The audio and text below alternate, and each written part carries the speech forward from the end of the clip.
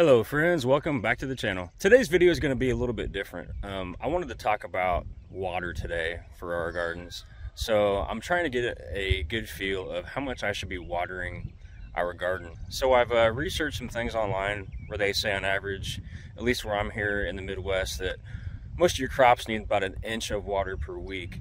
And my wife was like, okay, what does that equate to? You know, like how much is an inch? You know, so I started, you know, looking up things as far as you know inches per square foot you know how many gallons we might need this and that you know given if we're using a hose or perhaps a sprinkler system you know what does that mean? You know how long should we be watering our garden? So i went ahead and built this little simple uh, calculator.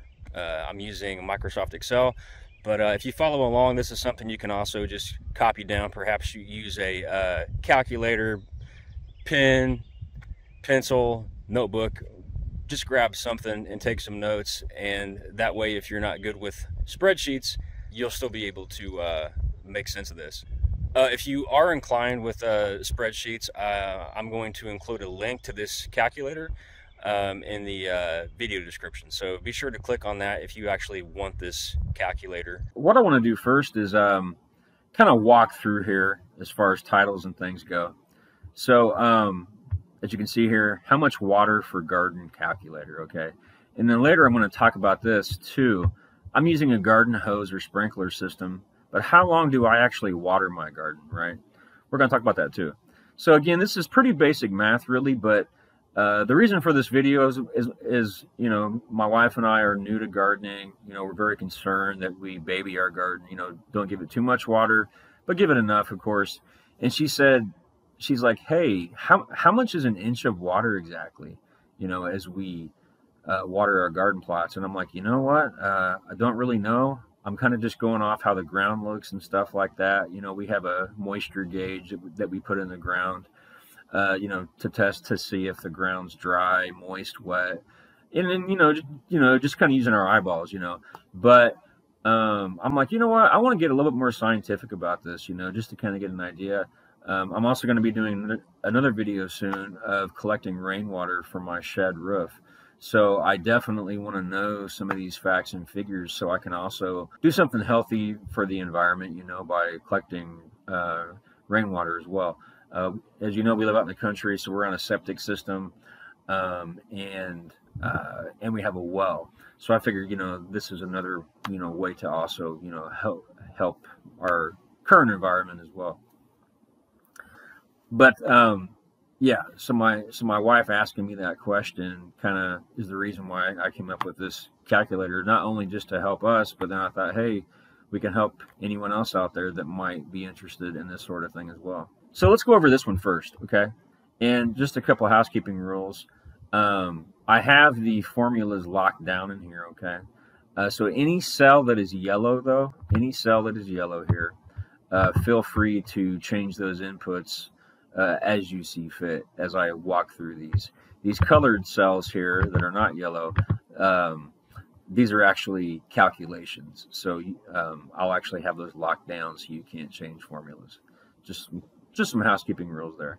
So let's get into it. Uh, water per square foot of, a, of an actual garden plot.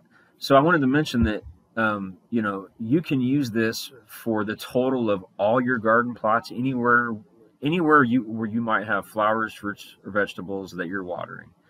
Uh, this could go for the total square footage of the garden plot, or you might have plots, uh, you know, or rows. I wanted to mention that too. Like this is kind of set up for square foot gardening, but you know, you, you can also calculate the square foot uh, if you're doing like tr- uh, traditional, um, you know, row gardening, or you know, you have raised beds or whatever. You can also come up with the square footage on those types as well, and, and you should be able to also use this. But yes, water per square foot uh, of garden plot, whether you're doing one garden plot or all of them put together. Um, and what I find in readings is, is they say that one inch of water uh, is usually, as far as surface area goes on square footage, that's usually anywhere I've read anywhere from like 0.6 to 0.7 gallons of water. Okay, so that's why I have that here. So you're going to be able to change that if you want to go on the higher end. you can put it at right at 0.6. I think I have 0.623. I read that somewhere. So you feel free to enter anywhere from 0.6 to 0.7 gallons. Okay, so that's just going to be just a little bit over like a half a gallon of water. Um, and then I have one inch in here, as you can see.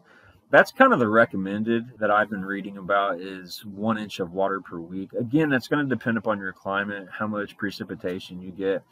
Um, you know, you might live in an area that gets a lot of water or an area that doesn't get much. Okay, but um, here in the Midwest, uh, usually about an inch of water, and um, the rainfalls here, uh, we don't normally ever get more than one inch. You know, sometimes it's only maybe a half inch. So that's why I'm using the one inch calculation here. You know, that's something else you could change. You know, you might want to use 1.5. You know, uh, you know, maybe you want to use something close to two. Maybe you want to use 0.75, three fourths of an inch.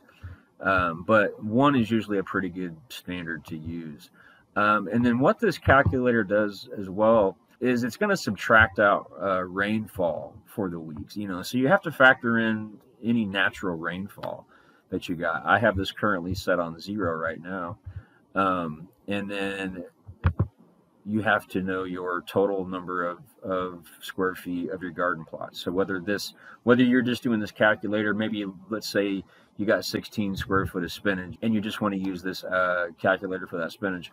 Or if you're somebody that, that says, nope, I'm going to use pretty much the same amount of water, this one inch recommended, I'm going to use this for all my garden plots. That's kind of what I'm doing. That's great. Um, and then this total here will indeed uh, be all, all the garden plots put together.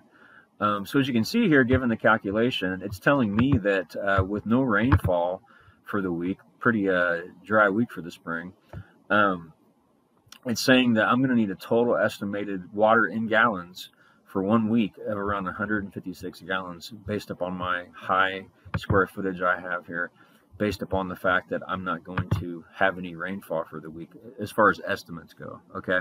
So let's let's have a little fun with this. Let's let's let's uh I want to show you how this works. So I'm going to keep my 0.6 and my 1 inch pretty pretty static here. I'm not going to change these, okay? Um, but let's start messing with the rainfall. So let's say that we actually did get a half inch of rainfall this week, okay? Watch this 156 change. So now it's saying, hey, you got about a half inch of rainfall for the week. Um, so now you're only going to need about 78 gallons of water, right? Um, as you can see, if we got the whole inch of rain for the week, then look what happens. It's it's saying, hey, you don't need to water the garden at all this week because your rainfall for the week one inch meets your one inch of recommended water for the week. So I just want to show you how the calculation flows. What if maybe you had like a quarter inch for the week, 0.25? It's saying you need about 117 gallons still. Um, uh, let's let's let's play with this a little bit more just to show you guys. So uh, I'm gonna go ahead and put this back at zero. Let's say it's really dry, no rainfall for the week. But let's say, uh, like I said, maybe you have um, not a really big garden. You know, maybe you only have 50 square feet of garden. Let's go ahead and put that in here. Look at that. That square footage really affects that, right? So this is saying, hey, we're going to use the 0.6 again based upon a recommended of one inch of rain per week given that there's no rainfall in the week, but you're only having to worry about 50 square foot of garden plots. This is saying, hey, based on this, you only need about 31 gallons of water for the week. So as you can see, the square footage really, um, you know, makes this calculation go up and down. So I hope everyone understands this. It's pretty basic math. Just wanted to put it in a nice little spreadsheet you all at home can easily do this outside of a spreadsheet, you know, just with a pen, paper, and a calculator, okay? So let's go ahead and come down here. Uh, on this calculator here, I'm using a garden hose or sprinkler system. How long do I water my garden? I put a little note here that, you know, everybody's water pressure differs a little bit. You know, maybe you live in the city, I'm out in the country, that sort of thing, okay? Every, everyone's water pressure coming from a hose or system differs. So instead, we will measure length of time. I thought this was an easy way to figure this universally for everybody, okay? So what this is doing here, total estimated water in one gallon for the week, that's dropping in automatically for you, okay, based upon your yellow inputs here and your calc here. That's just dropping straight down. So there's nothing for you to do right here, okay? Nothing for you to do. The only thing you need to do is fill out this yellow cell right here as part of the calculator. Length of time in seconds to fill water into a one gallon container. So basically, go get a one gallon container, you know, could be a gallon of empty milk, an empty milk container, just anything that's one gallon.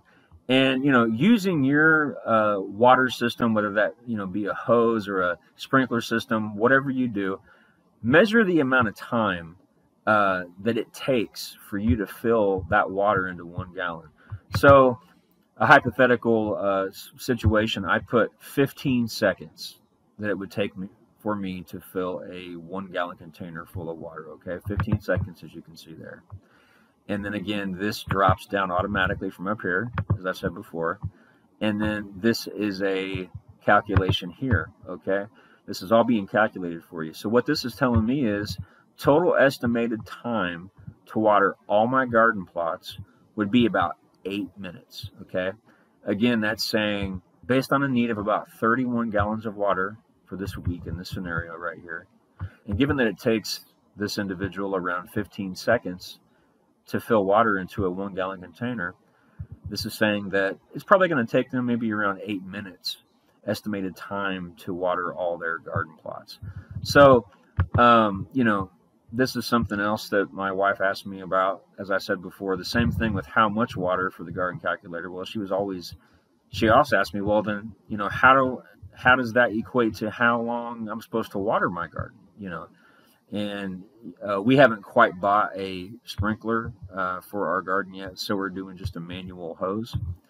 And so for her, I said, okay, you know what? Go ahead, get a gallon container, and tell me how long it takes you. Time yourself. Um, and that's how we're getting to this ultimate number here. So basically what that's saying is, is you know, as you walk around the garden, kind of keep the eight minute mark um, in your head, you know. So for instance, let's say you got four garden plots, right? Uh, this is saying a total of around eight minutes. You basically want to maybe water around two minutes per plot, right? That's basically what that's saying. So there we have it. A nice little calculation for how much uh, water that your garden might need, and then another calculation on, you know, if you're using a garden hose or perhaps a sprinkler, how long does that system of yours, whatever it is, how long does that take to fill up one gallon um, of water? And then that's all you need to do. Uh, so you'll be able to come up with a estimated uh, water in gallons for the week uh, based upon either no rainfall or rainfall and then you're going to get a pretty good estimate of how much time it's going to take you in total to uh, water all your plots. So everybody, thanks for tuning in today. Um, I know this video was a little bit different today, a little out of the ordinary, but I thought this could be of value to certain uh, individuals out there. So I hope you guys enjoyed this one today. So this is your first time to the channel. Uh, think about subscribing. If you liked the video today, please give us that thumbs up. Uh, feel free to leave any comments as usual, and we'll talk to you guys next week.